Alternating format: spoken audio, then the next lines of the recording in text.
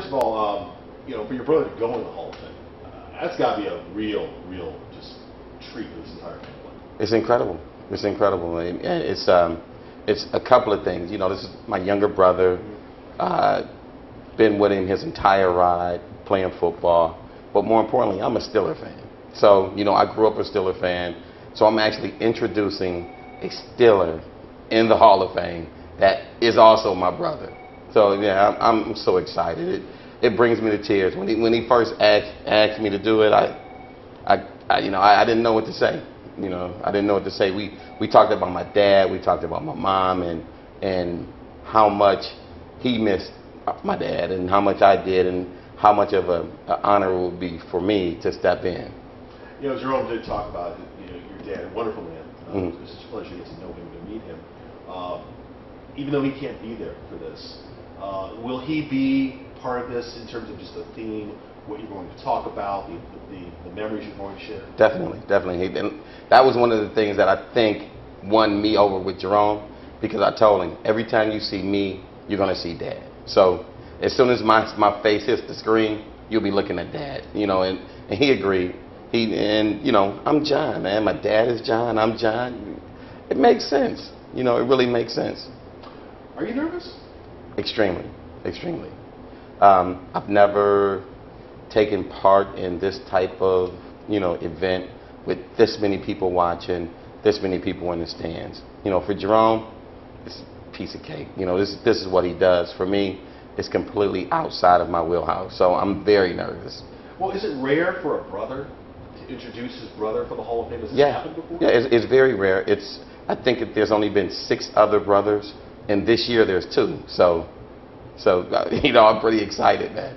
I'm pretty excited. Can you give us a sneak peek of what you might talk about? Yeah, yeah. It's you know my my entire presentation is about Jerome and just how lucky this guy has been to be in the situation. But it really wasn't luck as if you know he just picked up a million dollars. It wasn't like that. It's just he was prepared. He did all the things he needed to do. He was focused, and the opportunity came up. You know, who knew that the Steelers would trade for him during the draft of of '96? Who knew? It was just Jerome. So my whole speech goes on. It's just Jerome, man. It's Jerome. And your mom. Can you imagine? Can you share with us what you think the feeling will be like for her to see her two boys up there in the, the biggest spotlight that pro football has to offer? Yeah, I think she'll be fighting back tears. She'll be she'll be watching both of us through tears, you know, and um, she'll she'll be happy, man. And you know, she uh, with everything that she's gone through in the last few years, just to be at this point with Jerome, celebrating, enjoying, is a tremendous accomplishment for her. You know, that's that's she's superwoman. She's our superwoman, and she'll be right there. I remember Jerome had mentioned earlier that he thought she might give this give this speech. Yeah, What happened to change that? I, mean, I told him I was bringing dad with me. You know, I mean, he he had mom is there, we got her, but you know, with with me, you get it's a John Bettis on the books. You know, and also it's like, hey Jerome, and you, you know, I've been there for the entire ride with my parents, so and I, I I've seen things that they've seen, and as well from his perspective. So it really, for Jerome, it made sense, and his thought was, John, man, you know, who else would I have bring me out? It, it's got to be your dad. Now, finally, you realize there are going to be a lot of Steeler fans there. I mean, when Steelers have somebody going to the Hall of Fame, big crowd.